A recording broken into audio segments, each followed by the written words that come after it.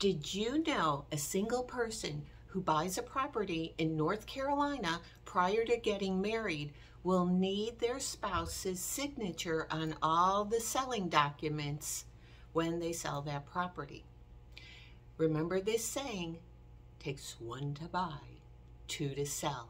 And that's what it is in North Carolina. If you have any more questions, I'm always here to answer them for you. But now you know.